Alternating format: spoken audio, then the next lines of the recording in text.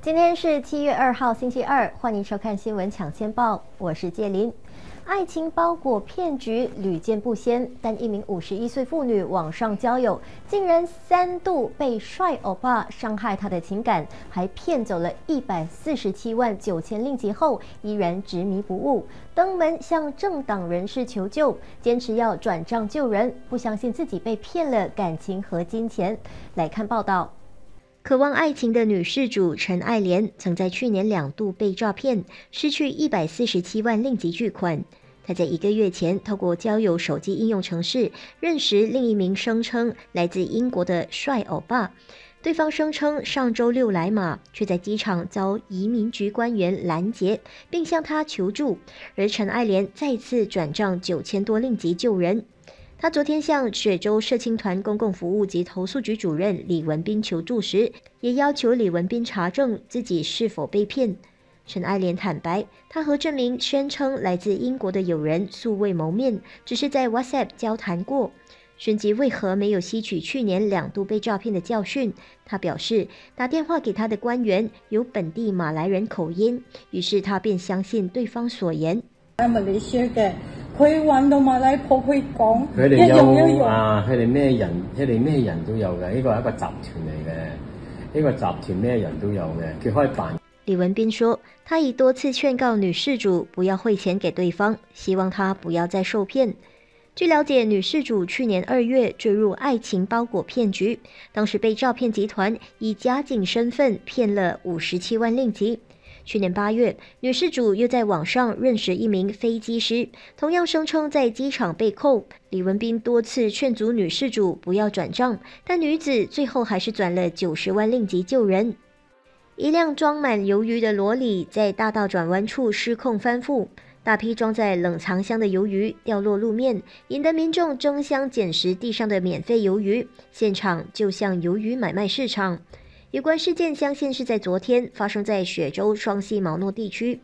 社交媒体流传的画面可见，一辆载满鱿鱼的罗里经过一个转弯处时，已失控翻覆，导致大量冷藏箱跌落路边，而装在箱里的鱿鱼遍布路面，场面非常壮观。而路经此地的司机和骑士见状后，纷纷下车，拿起塑料袋捡鱿鱼，造成路边停满车辆及摩多，并引发塞车问题。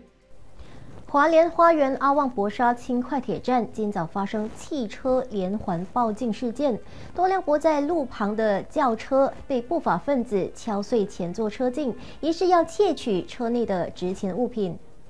网传画面可以看到，华联花园阿旺博沙轻快铁站的多辆沿路轿车遭不明人士敲破前座车镜，洒落一地碎玻璃。单单画面里便有至少五辆轿车被敲爆车镜，具体受害车辆不得而知。歹徒疑似要盗窃车内财物，但目前尚未清楚损失情况。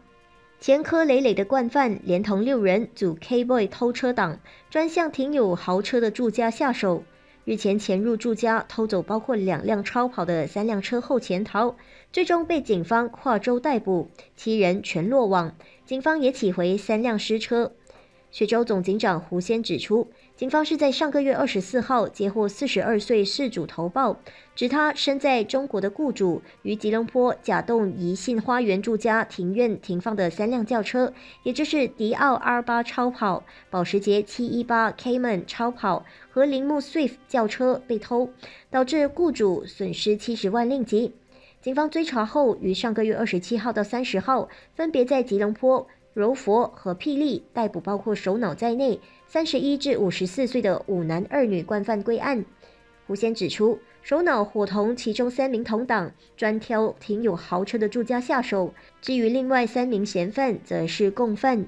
另外，胡先说。警方追查早前发生的雪州足球队球员住家被盗窃案超过一个月后，目前跨州逮捕两名涉案男子，并宣布破案，同时一并侦破九宗涉及四周的案件，起回了许多被偷的物品。至于另一宗案件，快递送货员夫妇接到五十一令吉运费的任务。驾驶罗里运货途中，被警方截查时，在罗里内起获市值高达一百八十四万令吉的五十六包观音王茶包，装有冰毒。送货员夫妇当场被捕。其中丈夫的尿检对大麻呈阳性反应。警方仍在深入调查夫妻俩对运载毒品是否知情。七名华裔男女，其中包括十八岁少女，承认非法放贷。法庭宣判，其中四人个别罚款两千五百令吉，另外三名刚成年的十八岁被告则罚款两千令吉。如果无法缴付罚款，就要以坐牢三个月来代替。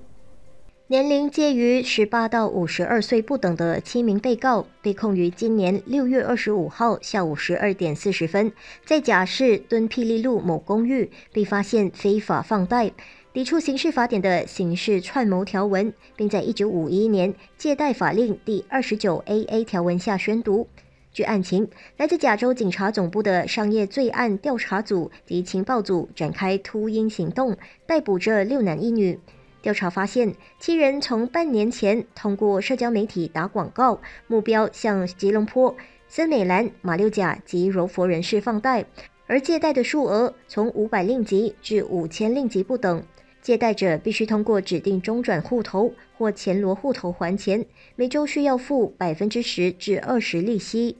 农场工人借故串门子强奸朋友的女儿，并当场被捉。被告今天在地庭面对两项强奸罪时俯首认罪，被判十年监禁及鞭笞六下。由于刑期同时执行，被告需坐牢五年和鞭笞六下。据案情。二十六岁被告穆哈默法鲁兹曾在二零一五年犯下强奸罪，被法庭勒令送进亨利格尼感化院服刑。随后他结婚，组织家庭，有了孩子，但还是死性不改，再次犯下强奸罪。手控状指他于去年一月十一号晚上十一点，在巴珠巴峡巴利拉尔的朋友家中强奸当时十三岁的受害少女。此控状指被告在去年一月二十三号凌晨十二点半，在同一地点再次强奸受害少女，结果被告当场被有人逮住，送往警局查办。另外，被告也需在服刑期间接受辅导，出狱后需接受警方监视一年。早前以脑中风不治的关丹拉法儿童之家院长曾雅莲今天举病。多名已成年的孩子纷纷回家送殡，上演了百名孤儿送别妈妈的画面，令人鼻酸又感动。曾雅莲安息礼拜仪式今早在关丹拉法儿童之家进行，主持仪式的是来自关丹恩典堂的谭英清牧师。谭牧师也是曾雅莲多年的好友，他在追思缅怀环节时，更是一度说到哽咽。张耀德长老在仪式上主持唱圣诗、祈祷、读经和正道。出席者们瞻仰曾雅莲仪容后，接着盖上棺椁，送至甘梦福禄寿火化场。曾雅莲是在上个月二十八号在睡梦中以脑中风陷入昏迷，被拉法之家几名少年发现后，紧急送至关丹中央医院，最终在二十九号下午六点多不治。民间流传一句话：“跨进庙门两件事，烧香求签问心事。”许多人不论大小事都会到庙里求签问事，但求了签需要解签，解签人就扮演重要角色。已有近五十年经验的解签人梁天成告诉中国报：“妈祖庙及观音庙常用的签诗是六十甲子签，而六十支签可分为上签、中签及下签。”每首签诗都有典故，一般跟《三国演义》《西游记》、神话故事或民间故事有关。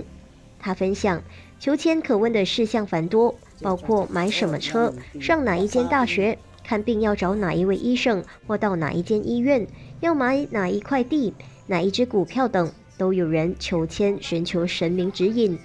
他说。无论大小事都可求签，唯独不鼓励问横财运，因为这种情况求签，往往签文会失灵，无法准确论断。美国联邦最高法院周一作出历史性裁决，裁定前总统特朗普在涉嫌干预2020年总统选举结果案中，享有一定程度的刑事起诉豁免权。这项裁决变相为特朗普争取重返白宫，扫除司法障碍。最高法院以六比三的票数通过裁决，同意者为六名保守派大法官，其中包括三名特朗普任内任命的大法官；反对者为三名自由派大法官。特朗普在最高法院裁决出炉后，于自家社媒平台发文说：“这是美国宪法和民主的重大胜利。”另一方面，美国白宫前首席策略师、特朗普老战友班农因藐视国会被判四个月徒刑。他周一中午正式向康涅狄格州丹伯里联邦监狱报到。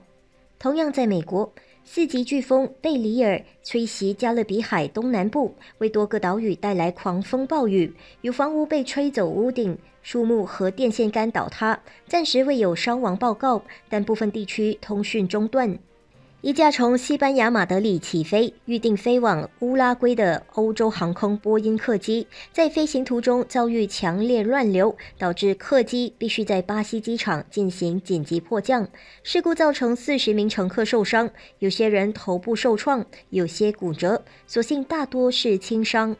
韩国首尔市中区地铁市厅站十二号入口人行道，周一晚间发生一起骇人听闻的大型车祸。六十八岁男性司机开着黑色轿车逆向失控暴冲，撞向斑马线和人行道，造成九人死亡、四人轻重伤。死者为首尔市府公务员和银行员。另外，中国和菲律宾将加强执法合作，共同打击绑架、杀人等跨国犯罪。据中国驻菲律宾大使馆网站，中国驻菲律宾大使黄希周一联会菲律宾文官长。总统反有组织犯罪委员会主席贝萨明一致同意加强中非执法合作。有着九颗牙齿和直立尖耳朵、个性调皮乐观的中国潮玩拉布布，在泰国掀起了热潮。而泰国官方周一为抵达曼谷的拉布布本尊举办了一场盛大的欢迎仪式，还授予拉布布“神奇泰国体验官”荣誉称号。新闻的最后，带您一览欢迎仪式当天的盛况。我是介林，我们再会。